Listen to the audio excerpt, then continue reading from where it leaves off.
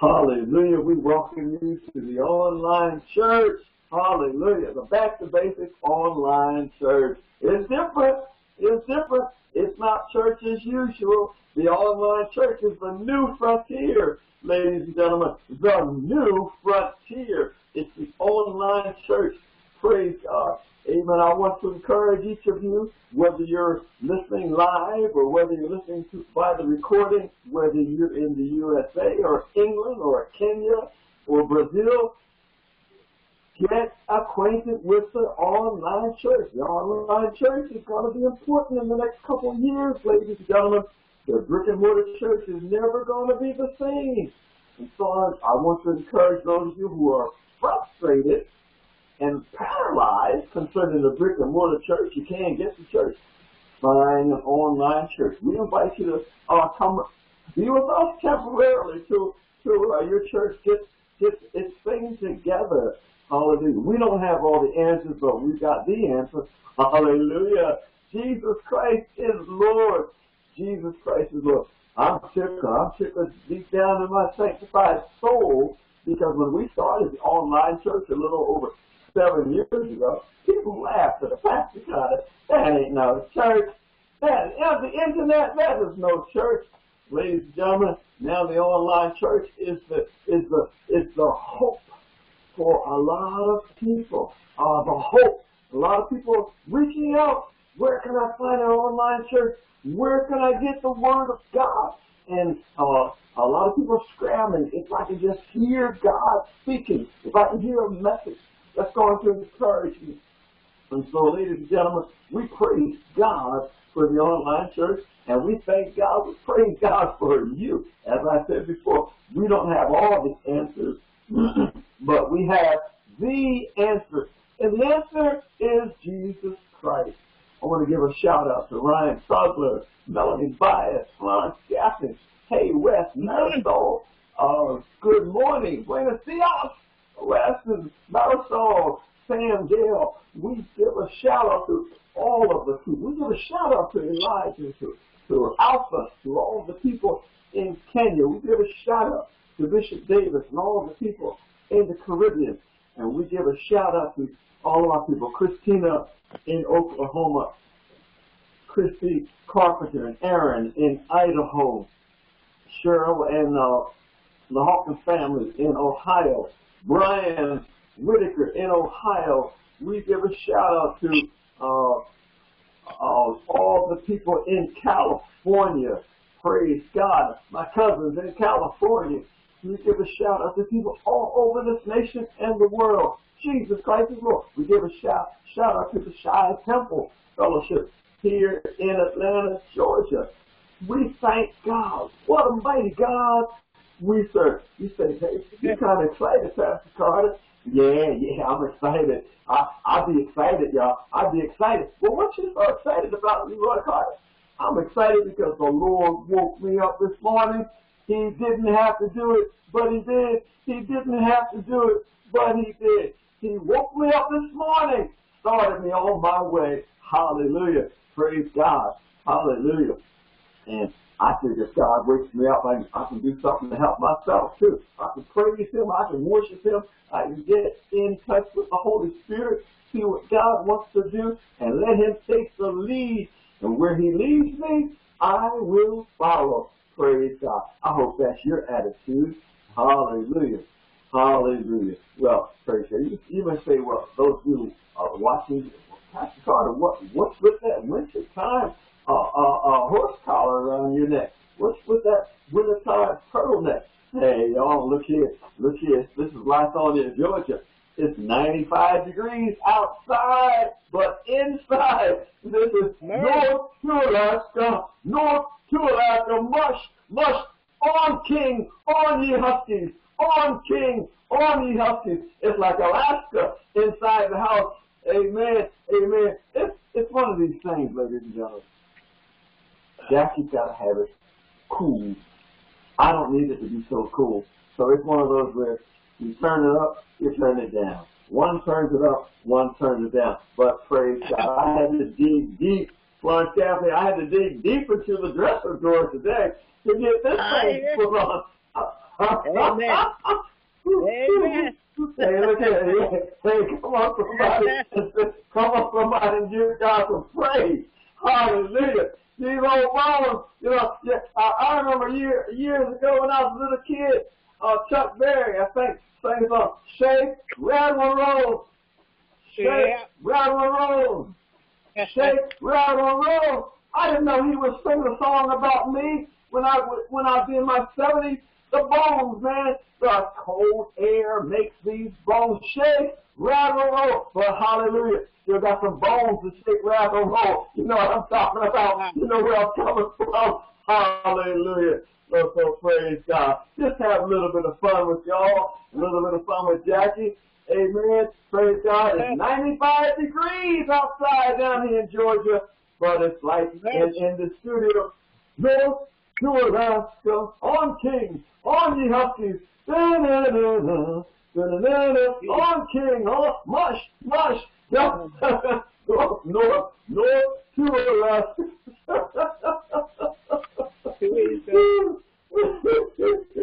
I'm just playing with you. I love Jackie Carr. She, she's so precious.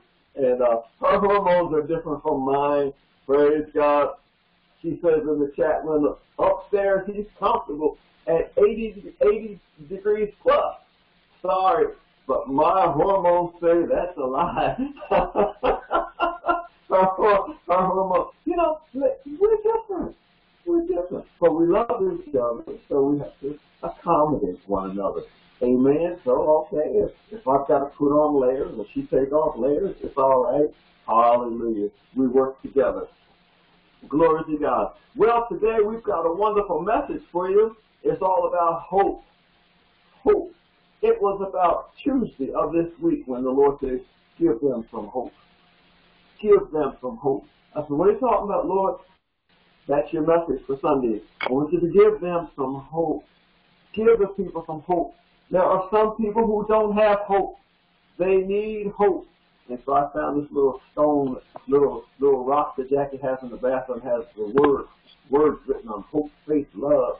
And so I picked out a little stone that has hope on it. And and Lord yes, give them some hope on Sunday. So we're gonna give you some hope. Praise God. God's already given it to us. We're just gonna remind you. There is hope for you. There is hope for me. There's hope for the world. We're going to trust God. Let's ask our friend Ryan. Ryan, if you can. Ryan Chalkler, ladies and gentlemen, Marysville, Pennsylvania. Ask Ryan, Brother Ryan, to come and lead us in prayer. Morning, Pastor. Morning, church. Morning. Uh, Heavenly Father, we ask you, we thank you for another beautiful day today and letting us rejoice in it with you. Lord, we want to bless this great nation and the leadership and all nations around the world and our and our military as well. Lord, we ask you to uh, uh, give the strength and the courage and the wisdom to Pastor Carter to give us your beautiful word again today. Lord, we want you to bless this online ministry and the people that's in it, and we hope more and more people every day come to you. And Lord, we we want to give you all the glory, Lord, and, and we just love you, we praise you, we worship you, honor you, and glorify you in Jesus Christ's precious name. Amen. Amen. Thank you, Ryan. We praise God for you and Carol and Jenna and ask God to continue to bless you guys and leading you. Praise God. Ryan's going to be ordained soon. And we thank God for Ryan's diligence, his patience, his trust in the Lord.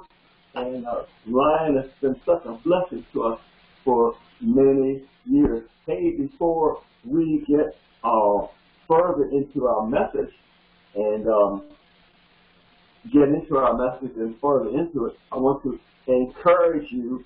Uh, and, and, and there are many of you who you heard from God, and God has made promises to you, and the promises have not come about yet. Come on, somebody say amen or give me a, a, a, yeah, a yes in the chat window. Uh, there are many of you who have heard from God. God made promises to you, but the promises have not just yet come about. Well, when God, I don't see any amens yet, but come on, somebody just unmute and say amen. Okay, God has made some promises to you. He hasn't, they haven't come about yet. And so when God speaks to you, it's called a faith vision. When He shows you what He wants to do, when He gives you a plan, it's called a faith vision or a vision. He will give you a faith vision. And then it's up to you. It's up to you to do something about it. And faith visions, when God promises, uh, we're going to talk in our message today about what he does with his promises because he cannot lie. Ladies and gentlemen, the Bible says God cannot lie and he will not lie. So when he makes a promise to you, you can expect adversity. You can expect difficulty.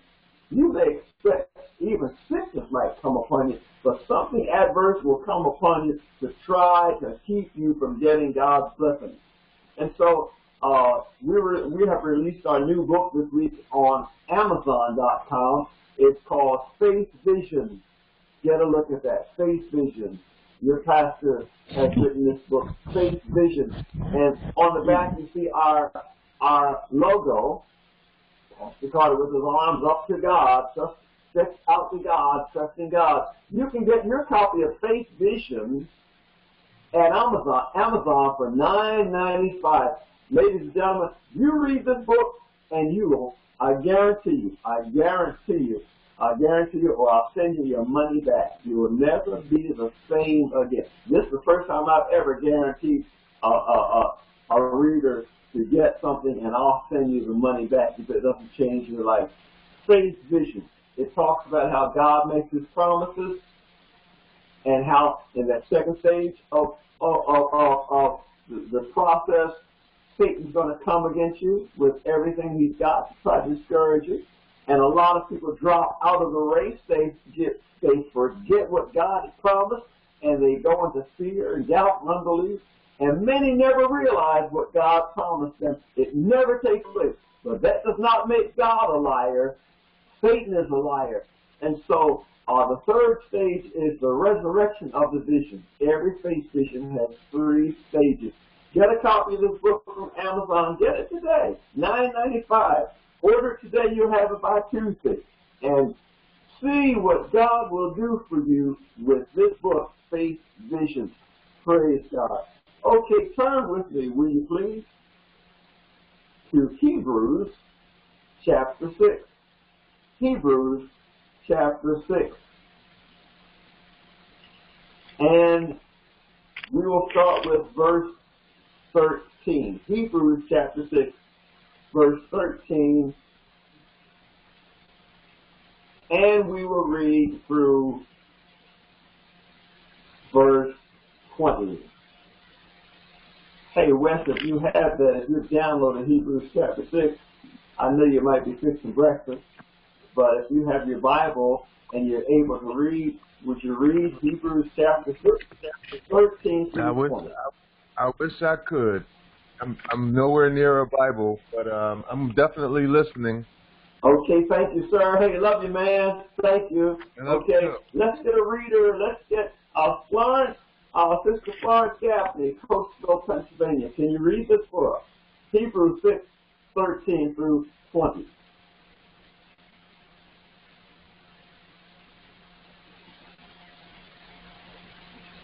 Is Florence still with us? I mean, I can grab it off the internet. Oh yes, Um, I'm here. Wait a minute. Well, I stepped okay. out for a minute. Wait a minute. I'm trying to get it here. Florence is there, Wes. Thank you. Thank you, Florence. What, Hebrews six. What chapter? Hebrews uh, 6. verse? 13 through 20. Thirteen. Okay. Hebrews chapter six, thirteen through twenty. For when God made promise to Abraham, because he could swear by no greater, I hear an echo, he swore by himself, saying, Surely blessing I will bless thee, and multiplying I will multiply thee. And so far, and so after he had patiently endured, he obtained the promise.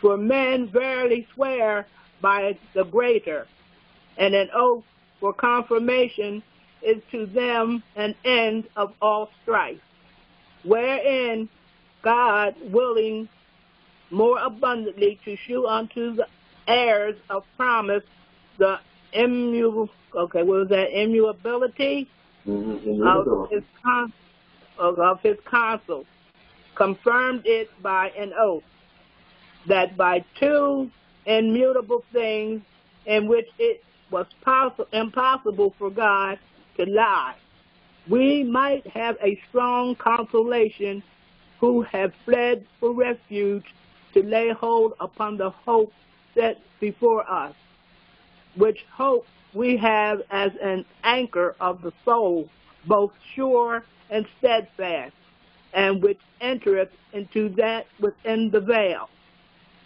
whither the forerunner is for us entered, even Jesus, made an high priest forever after the order of Melchizedek. Melchizedek. Melchizedek. Melchizedek. Okay, Melchizedek. I have Wonderful. prayed for you here. All right. Praise the Lord. With Thank word. you, thank you, Sister Florence Gaffney. Praise God, hallelujah. Thank you for reading so wonderfully the Word of God for us. Hebrews chapter 6, ladies and gentlemen, if you ever, ever, ever, ever, ever become discouraged, All right. and Amen. you can't find your copy of Faith Vision, you can always go to Hebrews 6 and start with verse 13. Okay. and read. Uh-huh. the rest of that chapter, and God will restore His promise to you. He will not only restore it, but He gives you the courage and the faith and the hope to stick it out. You see, there are many Uh-huh. people in the body of Christ, many people in the church who need to be encouraged, and many need to be to get some stick to itness. I mean, some real, real, real, real uh, grits and gravy type, uh, uh, uh, fat back, lay on my stomach and, and, and do something in my belly, sort of thing. Build some, build some character inside of me. Many people are, are in the body of Christ. They're saved, but they don't have any backbone, any courage, or any endurance. And and and and the Bible says we should be like a tree planted by the rivers of water that bringeth forth its fruit in its season. Our leaves shall not wither, and whatsoever we do shall flourish.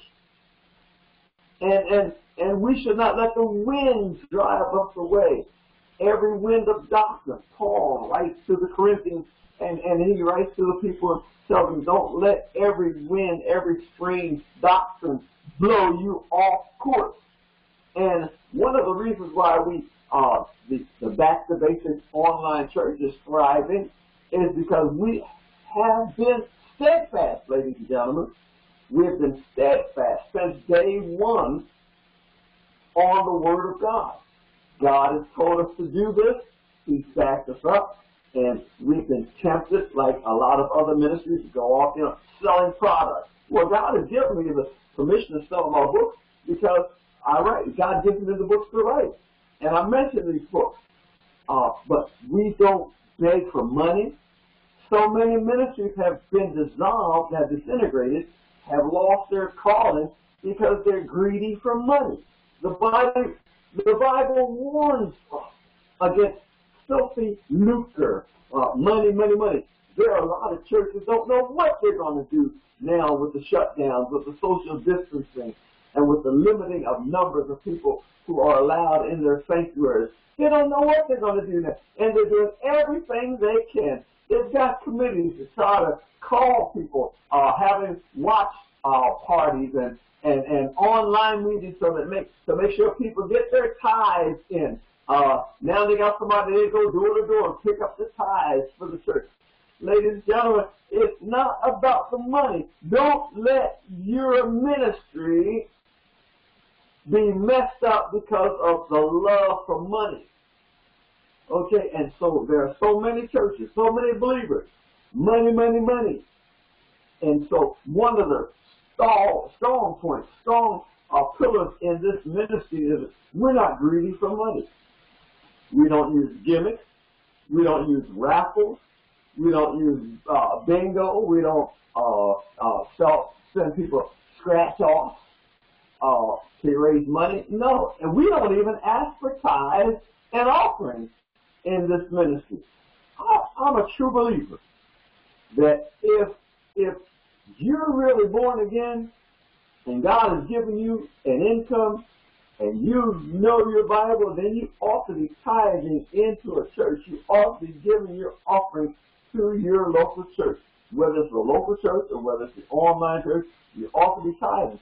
So we don't beg for money. Well, how do you operate, Pastor Carter? We operate because God provides. He's Jehovah Jireh. Now I could get on here and beg and beg and beg, put my phone number on there and, and give my phone number, my email address, my website address, and ask for more money, ask for this and that. But I refuse to do that. I refuse to beg. I'm not going to beg people who know what they're to do. And so the ministry, this is our seventh or actually going into our eighth year of online ministry. We're, God is using this ministry to reach people in nations where there are no church buildings. God is reaching people uh, who uh, ordinarily cannot hear the gospel. And He's doing it through the internet and through technology and uh, through the faithfulness of His servants who believe God. When God says He wants this done, God is going to make a way uh, to get it accomplished. And so we are witness here at the online church that God is faithful. He is faithful. And He will bring forth your faith vision. Whatever He put on your heart to do, He will do. Hey, Wes, whatever God says you can do, you can do it. Sure, uh, Melody. Sure, Ryan. Sure, Jackie. You're going to meet adversity. You're going to meet up against opposition. There are forces out there who want to prevent you from accomplishing what God has promised you to do. And we're seeing this in America and the world, in every nation. This coronavirus ain't playing. Ladies and gentlemen, this coronavirus ain't no joke. And this coronavirus uh, has caused a lot of people to give up hope. A lot of people have caved in. Churches have had to close down. Restaurants cannot do business. Businesses have declared bankruptcy. People have lost jobs. Millions are in the unemployment ranks because of this coronavirus. And this is just the first wave, ladies and gentlemen, of, of, of opponents coming down the road, of opposition coming down the road. And so God's people need to know, hey, I need to dig in. This is war. This is a battle. And then look at the scripture. The Bible tells us in uh, 1 Corinthians chapter uh, uh, 10, verses 3 to 5. We, though we walk in the flesh, we do not war after the flesh. For the weapons of our warfare are not carnal, but mighty through God to the pulling down of strongholds, casting down imaginations and every high thing that exalts itself against the knowledge of God, and bringing captive every thought obedient to Christ. And then Ephesians chapter 6 tell us, let us know that we're, we're not fighting people. We're not fighting against uh, flesh and blood. That this is spiritual warfare. Ladies and gentlemen, the coronavirus, uh, even though it is attacking people's bodies and many people are dying, this is spiritual warfare. The, the, the, uh, the enemy is not people. The enemy is not the Chinese. The enemy is not Washington, D.C. The enemy is not India. The enemy is not Italy. The enemy is Satan himself. The enemy is powers and principalities, ruler spirits, spiritual wickedness in heavenly places, whom I truly believe have used a group of people to develop a virus that has never been seen before in this world. Sound like uh, uh, uh, uh, one of our leaders has said, it's never been seen, never, never been done before, but the enemy has, has chosen a group of people and they have, have, have, have uh, uh, uh, developed a virus that can kill a nation. And it's happening. And, and you can't put your finger on the enemy. We're wrestling against powers and principalities and ruler spirits. Satan is trying to take us all out. And in the meantime, he's causing confusion. So people are blaming the president, people are blaming the Republican Party, Republicans are blaming the Democrats, the Democrats are pointing the fingers at uh, uh, people south of the border, and, some are pointing the finger at blacks, and blacks pointing the fingers at whites. And so everybody's fighting against one another, and the enemy's just having a day, a field day. and the main thing is Satan is trying to destroy God's witness in this world. Wake up, church. Wake up, uh, uh, newscasters. There has not yet been a newscaster who's come on board on a major news channel and said the solution to this problem is repentance and returning to God for healing, salvation, and deliverance. That's the answer, ladies and gentlemen. That's the answer. And until uh, our leaders uh, start uh, uh, preaching that and living it, it's not about wearing masks, to wear a mask, or not to wear a mask. That sounds like Shakespeare. To be or not to be. Whether is nobler, no, it's not to wear a mask or not to wear a mask. That's just an insight. The, the thing is, are you going to believe God or are you going to believe Satan? Are you going to stick with God or are you going to run like many people in the church who are running trying to find a way to keep the church open? It ain't about keeping the church open, ladies and gentlemen. It's about, hey, whose report will you believe? If if Baal be God, then serve him. If Satan be God, then serve him. But if the Lord be God, then serve the Lord. And uh, back to basic ministries, we want to challenge you today. Make up your mind. Whose side are you going to be on? You don't have a lot of time, ladies and gentlemen, and neither do I. We don't have a lot of time to hem and haw and pick and choose and point fingers and, and play the, the blame game. Satan is trying to destroy us all. And so it behooves us. That's a way of saying it is necessary that we get saved and stay saved. Get in church and stay in church. And, and, and one thing this coronavirus is showing us, it ain't, ain't about that building you've been worshiping down on 3rd Main Street. It ain't about that building you've been worshiping in the new uh, church ever you built in that field. No, no, no. The church is the body of Jesus Christ. The, uh, uh, that Christ dwells in us, the hope of glory. And Satan is trying his best to get, get people to turn from the living God, deny Christ as Lord of their lives, because Satan wants you to worship him. And so, so God says if we give them some hope, and there are people listening today whether you're live or whether you're listening to the recording. You need some hope. You need, some of you are at the end of the rope. Ladies and gentlemen, I've been to the end of the rope many times. I've been to the end of the rope where there is no knot tied in the rope, nothing to get a grip on, and, and the rope begins to slip. Some of you have been there health-wise. Some of you have been there uh, job-wise. Some of you have been there with your marriage. Some of you have been there two or three times with marriages. End of the rope.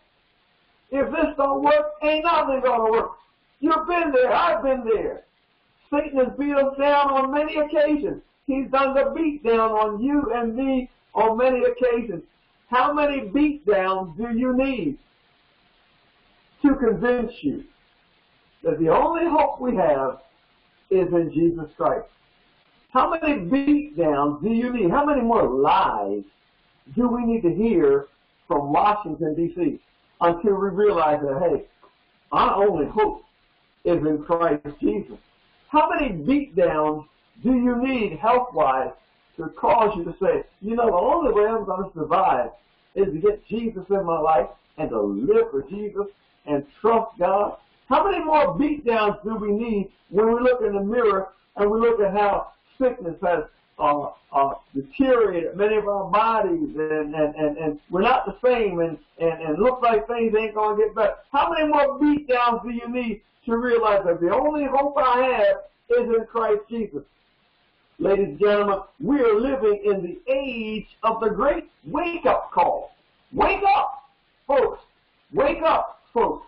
I love on Sunday mornings to play that song by Richard Smallwood Vision, the healing song. I love that song. Uh, Richard Smallwood said, uh, the Lord gave me this song. And when I, when I heard it, I knew it was the healing song. He said he was miserable. He was beat down. But when God gave him that song, that word, that word healed him, and then he began to sing it, and his choir, and people all over the world are still getting healed. And that song is over 20 years old, and people are still getting healed from it because God took a man and his choir and anointed them, and, and they decided they would not sing for money, for form, or fashion. They're, they're not going to be performers like a lot of our choirs are, but they're going to minister. There's a difference between singing for money or singing to influence the crowd and ministering unto God's people in the Holy Spirit. And back to basics ministry is a ministry. We minister to God's people in the Holy Spirit. We do things differently. We don't beg for money. We don't beat you down. We don't oppress you. We don't humiliate you. Uh, we don't talk about you behind your back. The love we show to you on camera is the love we have when the cameras are not on us concerning you. Uh, when when we leave the ministry on Sunday, there's time. Jackie and I, we're praying for you. We're standing in the gap for you. Many times we get up at night and pray for you. We, we might spend hours in prayer, ladies and gentlemen. Uh, praise God. Me in my wool shirt, uh, my heavy shirt and sweater, and she in her short sleeves. But even uh, whatever the climate is, we're praying for you. She's praying for her fellowship. And, and we stand before the Lord for you. That's the kind of church I want to belong to, where people love you just who, for who you are, not for what you can do for them, not for what you can buy from them, not for what you can bless them with, but because of you. Because God so loved the world, ladies and gentlemen, that he gave his only begotten Son. But whosoever believes in him shall not perish, but have everlasting life. That's a promise from God. So look at this scripture, Hebrews chapter 6, verse 13, for when God made promise to Abraham, because he could swear by no greater, he swore by himself. Ladies and gentlemen, we're looking at our God, the Father of our Lord and Savior Jesus Christ, who called a man out of Iraq. Iraq was formerly called Ur of the Chaldees. He was a Chaldean. God called one man out of that pagan nation. They worshiped strange gods. And God called Abraham and revealed himself to Abraham and told Abraham who he was. And because Abraham had faith in God, it doesn't matter who you are or where you come from, ladies and gentlemen. If you're willing to put your trust in the Lord, not in your mother and father, not in your brothers and sisters, not in your job, not in your money, not in your bank account, not in your education, not in your local church, not in uh, your government, but put your trust in the Lord. The Bible says, blessed is the man who makes the Lord his trust. And respect not the proud, nor such as turn aside to lies. Well, Abraham believed God. And the Bible says God counted it unto him for righteousness. God saved him right there and then on the spot because he believed in God. Now, salvation came at that time by faith and trust and belief in God. Jesus had not yet come on the scene. Abraham lived 1,400 years before Jesus came on the earth. And so until Jesus came on the earth, people got saved by being faithful to God, by believing in God and not wavering, not turning from their faith. And so the moment Abraham declared his trust in God, Abraham declared that God would be his God, and God declared that I will be your God, I will bless you, as far as your eyes can see. Abraham was a man 75 years old. Ladies and gentlemen, I'm 77. Abraham had aches and pains in his body like I do. Abraham was uh, sensitive to cold and heat, just like I am.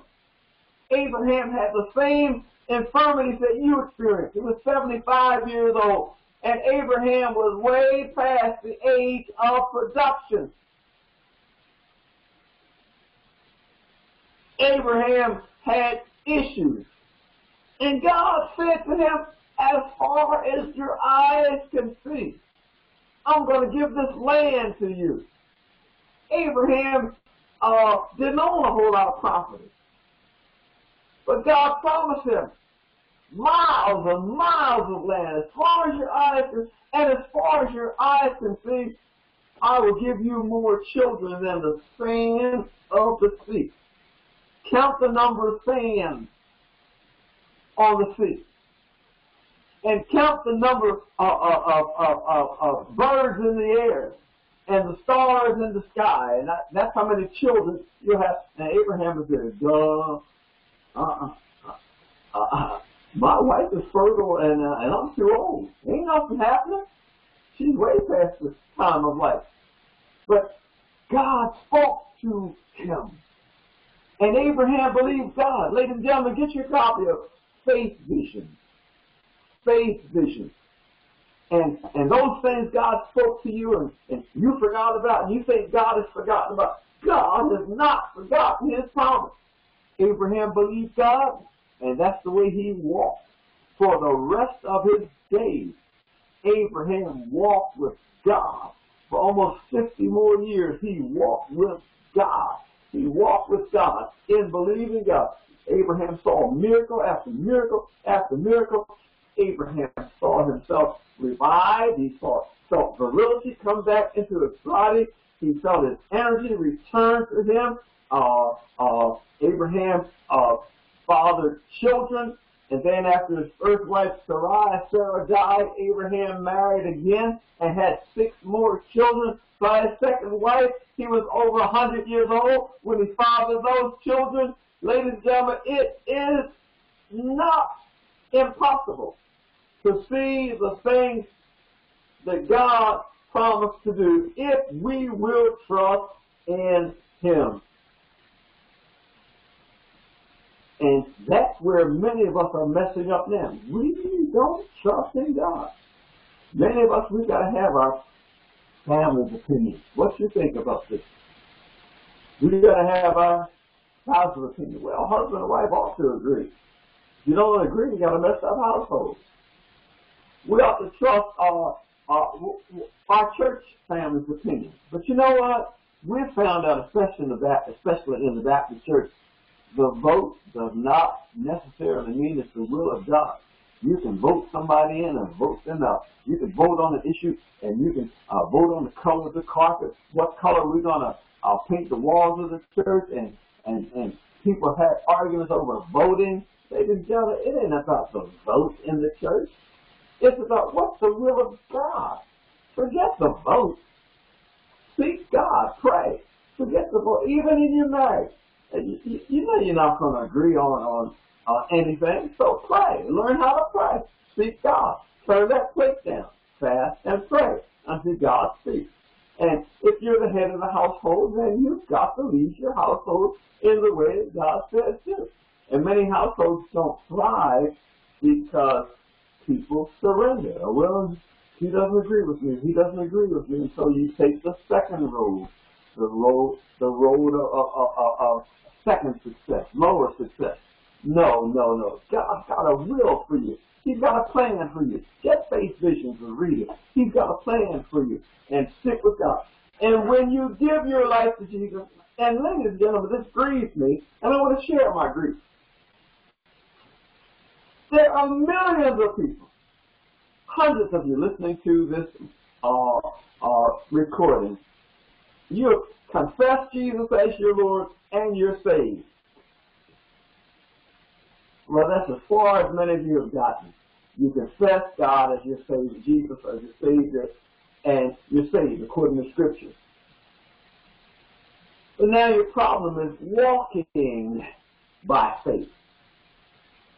The first wind that comes around, the first challenge, the first issue, freaks a lot of you out. You get freaked. Read the Bible and stop freaking. Read God's promises and lay hold to God and, and, and, and, and, and, and stop listening to the news and, and, and, and, and seeing what's happening in the world because the news will blow you off your feet. That is not the true report. There's fake news and there's real news. Sometimes you don't know what you're hearing, but the good news is in this Bible. And ladies and gentlemen, we have offered free Bible study to people all over the world. And people, I mean, if you give out free meals, you say, hey, uh, free vegetables, we're giving out free vegetables tomorrow, or Saturday we're giving out free veggies, come to the church, get free vegetables. Oh man, you, the place will be uh, uh, uh, packed. Buku numbers of people come out and get those vegetables. Or if you get some free meat from Tyson or from the chicken places, free free chicken, free ham, free bacon, everybody and their brother will be out there. I remember years ago, Florence Gaffney, when we were kids, they gave out free blocks of cheese. The government gave out once a month, I think it was free blocks of cheese and a box of powdered milk. A free block of yellow cheese and a box of powdered milk and everybody, those lines were so full. I mean, hey, it wasn't just black folks in that line. A whole lot of white folks in that line. A whole lot of Hispanics in that line. Uh, uh, I mean, folks who, who never, never would, would say they were poor. Everybody was in line trying to get that free. So when you offer free stuff, people grab it. But in the church, ladies and gentlemen, we've got to learn how to walk with the Lord. And when adversity comes and you don't see the answer and the answer doesn't come, you've got to stay close to God, just like Abraham did. Abraham believed God. Abraham believed God to the point that they cut the covenant with one another. God and Abraham cut the covenant. Well, what does that mean, Pastor Carter? God told Abraham, get a certain number of animals, cut them, lay them piece by piece, separate the birds from the other animals, put them on the altar, and wait for me. And God said, I'm going to walk through that sacrifice. The animals were the sacrifice. God cut a covenant with Abraham. God took an old man, 75 years old, from Iran, Iraq, Iraq. God took an old man from Ur of the Chaldees, said, I will be your God, and I will give you more land than you can see, more children than you can ever count, more than the numbers of the stars in the skies and the sands of the sea. And this old 75-year-old man believed God and packed up his belongings with his wife and his nephew Lot, and they left that place to go, and they began walking to a place where God said, I will show you the place. You just start walking.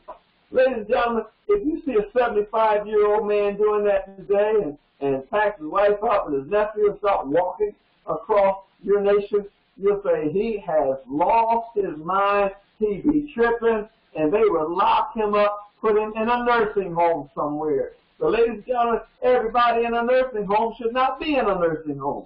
God still speaks to people. And Abraham believed God, and God was faithful to keep him. And that's the way it ought to be when you get saved. When you get saved, one of the problems, one of the problems that I have with, with this whole Christianity thing, and especially in America, you got so many voices that come and join my church, or watch me on on TBN, or watch my show, and and so many people they get caught up, they confess Jesus, they get caught up, they see the mega church, all they see is success, success, because the mega church ain't gonna tell you diddly squat about failures. All you see is the success symbol. So you got these big name pastors who, whom you think never went through adversity, but a lot of them have gone through adversity. T.D. Jakes one night woke up, his house was on fire. His feet was burning. Fire was coming out of his feet. Smoke was coming from his toes. His house was on fire and his body was on fire. But you don't see that on the the uh, the mega church. All you see is people praising the Lord, everybody happy, and then you they advertise what they want you to purchase from them, and you think you're in church. But being in church, ladies and gentlemen, means you become a part of the body of Christ.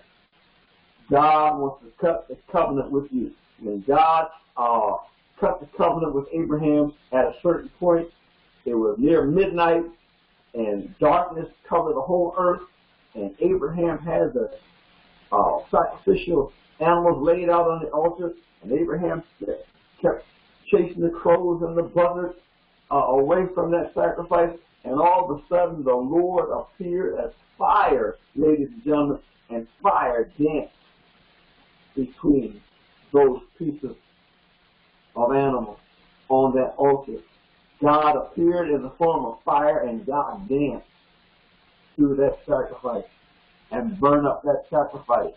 And Abraham promised God that he would follow God all his days, no matter what. And that's what it means to be saved, ladies and gentlemen.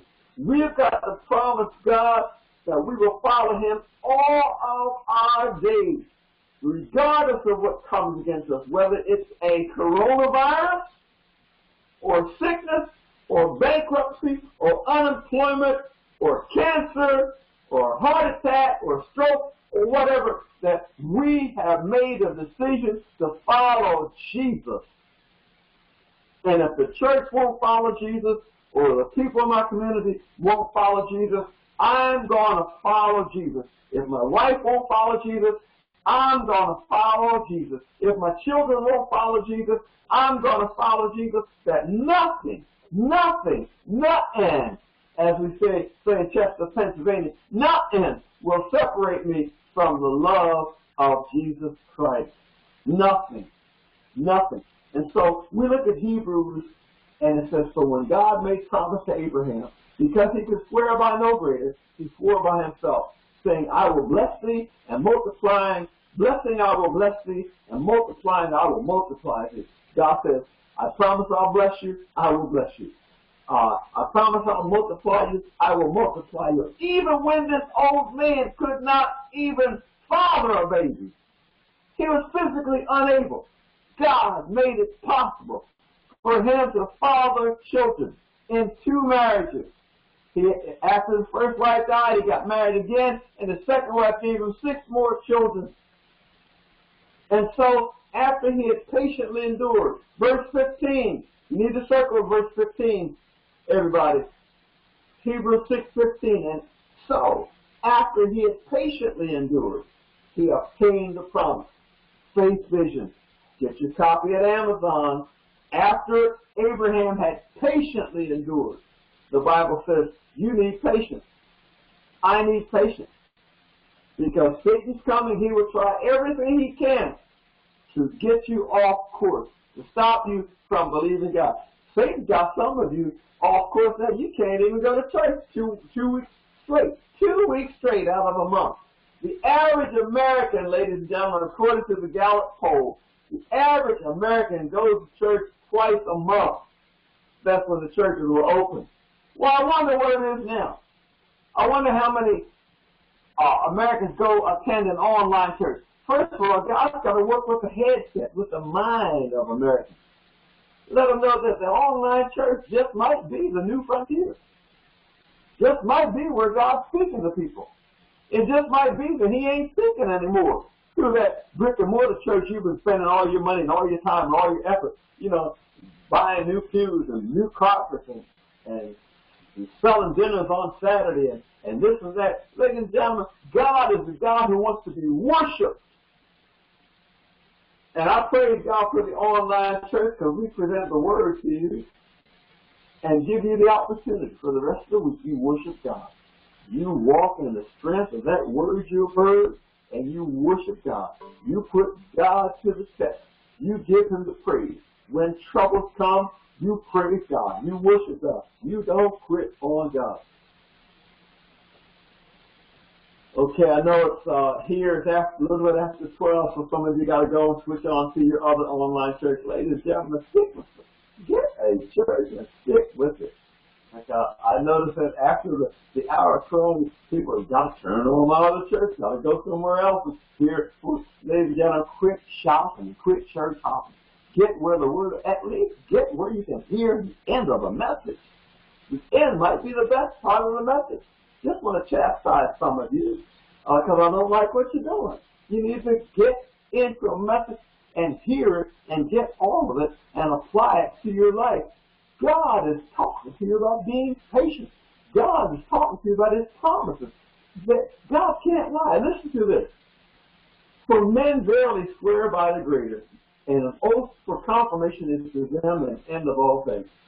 Verse 17, wherein God willing more abundantly to show unto the heirs of promise the immutability of his counsel, confirmed it by an oath. Florence Gaffney, God means by that word immutability, that his word cannot change. When God speaks of something, he ain't going to change his mind. He ain't going to change his word. What he said 1,400 years ago, Florence, to Abraham, still stands for us today. In other words, God is immutable. He's the same yesterday, today, and forevermore. In other words, you can trust God. God ain't shaky. God ain't flaky. You can depend on God. God is not like a, a Republican or a Democrat. They put on a different hat depending on what audience they're working with. Uh, uh, they would say wear a mask one day and go to another crowd and say don't wear a mask. They want to cater to the, the, the whims of the people. But God is not like a, a, a, a, a politician. God is God. What he speaks is truth and, and real and it's immutable, cannot change. And so, verse 18, that by two immutable things, in which it was impossible for God to lie, we might have a strong consolation who have fled for refuge to lay hold upon the hope set before us. There are two things that God swore upon to show us that he's not a liar. One is his word, the word of God. Everything from Genesis to Revelation is the word of God. God will stand behind everything he says. He will not change. He will not back off. He won't change his word to accommodate you or to satisfy you. He won't change his word because the devil pops up and hits the world with the coronavirus. God is the same yesterday, today, and forevermore. He will not change his word. It's impossible for him to lie because he has sworn upon his word and his oath. His word and his oath. He made an oath. He cut the covenant with Abraham. He swore an oath to Abraham. I will be your God. You will be my child. And ladies and gentlemen, because, because of this, we have hope. The Bible says, verse 19, which hope we have as an anchor of the soul, both sure and steadfast, and which enters not into that within the veil, whether the forerunner is soft entered, even Jesus, made an high priest forever, after the order of Melchizedek, whereas Abraham saw God cut the covenant. God, in the form of the Holy Spirit, in the person of the Holy Spirit, in fire, danced and walked between the sacrificial pieces on that altar and burn up, consume that altar.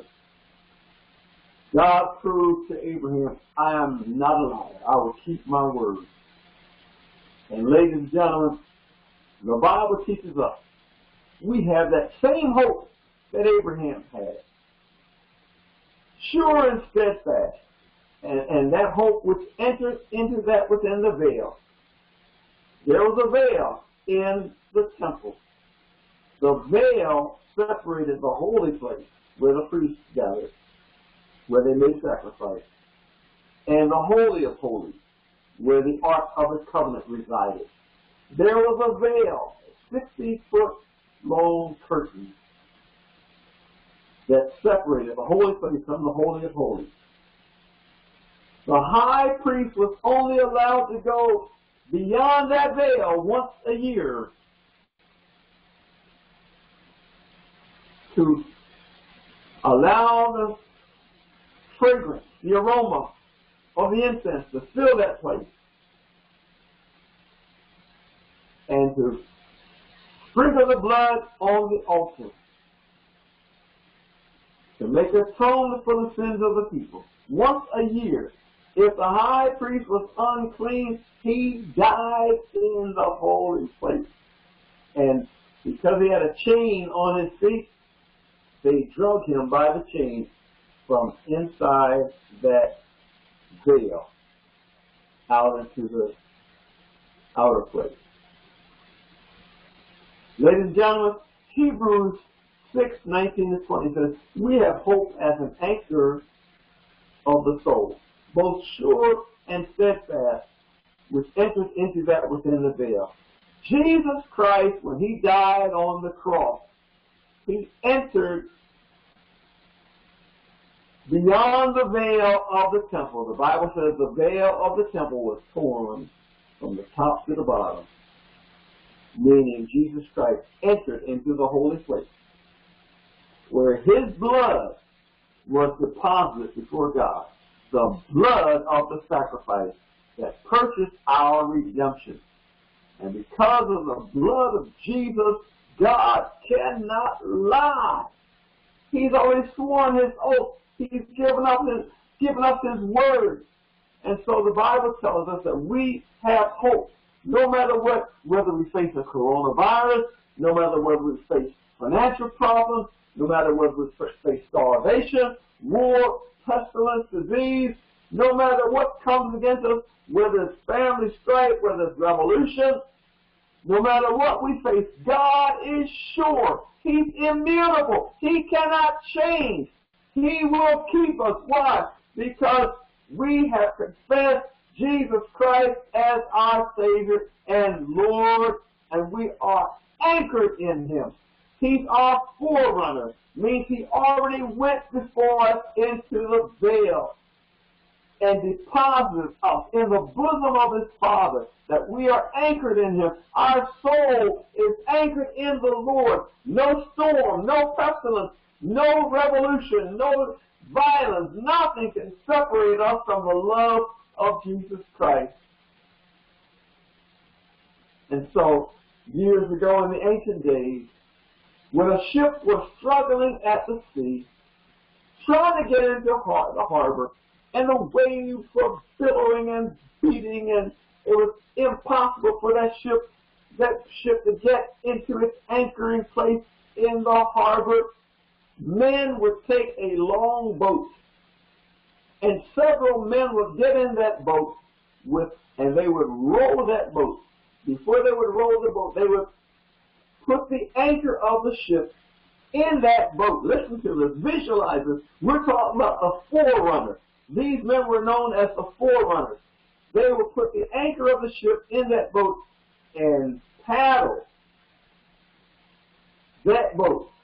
Struggling against the sea, they would paddle that boat into the harbor where in the harbor there was a great rock, a solid piece of rock. And they would take that boat into the harbor and fix that anchor into that solid rock. Ladies and gentlemen, they would make sure that anchor gripped the solid rock on the harbor, and then they would signal the men on the ship at the sea, lay hold, heave, lay hold, heave, lay hold, heave. In other words, grip that chain and pull it. Take up the slack, lay hold, heave, and before long, before long, they are pulling the ship into its harboring place on the harbor because the anchor has been fixed beyond the veil into that solid rock. And you and I don't have to worry about any storm that comes upon us, whether it be cancer or hangnail, whether it be fever, blister, or, or, or stroke, whether it be a heart attack or a coronavirus, whether it be an attack against our finances, whether it be divorce, whether it be death, the Bible says, what shall separate us from the love of Christ? Nothing shall separate us from the love of Jesus Christ. Why? Because we have been anchored in Christ Jesus. Our hope is built on nothing less than Jesus' blood and righteousness. We have hope as an anchor for our soul. We have hope as an anchor for our soul. Will the coronavirus overtake you? Oh no. I have hope. Well, uh, your your reading say you got a temperature of 105 and you got a fever and this and that. Well, you know, to be absent from the body, hallelujah, is to be at home with the Lord. I'm in a win-win situation. But I know one thing, even if I die from the coronavirus, I will live forever in glory because the coronavirus cannot separate me from the love of Christ. I still love Jesus. I still will serve Jesus. I will not turn back. I will not cave in. I will not give up. Well, you know, your church has to shut down. That's all right. The church can shut down, but the church is in me. Christ in me, the hope of glory. You can't take Christ out of me. He died for me on the cross. I received him as my Savior Lord. I've been born again by the Spirit of God. And praise God. I thank God, ladies and gentlemen, that I can declare today that tomorrow, July 20th, is the 51st anniversary of my salvation experience. 51 years ago tomorrow, God blessed me with the gift of salvation. And I refuse to let him go. I refuse to let him go. You don't know like I know what the Lord has done for me. You don't know like I know what the Lord has done for me. Well, you crazy, Leroy God. Yes, I'm crazy. Crazy about you, Jesus, because only you could save me. And when nothing else could help me, 51 years ago, you came all the way from heaven down to my lowly estate. You picked me up and turned me around, placed my feet on solid rock, and I'll never be the same again. I don't ever want to be the same again. Whatever you have for me is all right with me. I'm going to trust in the Lord until I die. I declare that I will trust in the Lord until I die. I will trust in the Lord. Jesus Christ is Lord of my life. He's my Savior, my Lord, my God, and my King. Though the storms be raging in my life, I have hope in Christ Jesus, and so do you. Praise God. Hallelujah. We thank God for you. We bless God for you. We praise God. He's so faithful. He's a mighty God. He's a wonderful God. Praise God. Father God, in the name of Jesus, we thank you for your message today. Bless your people today. Save those who will call upon you. Open the hearts of the people. Sanctify the foreskin of our flesh. Help the people to believe you, Lord God. Resist the devourer. Then, Lord, give people the strength to continue to trust you in the name of Jesus. And we give you the praise and the glory and the honor. In Jesus' name, amen.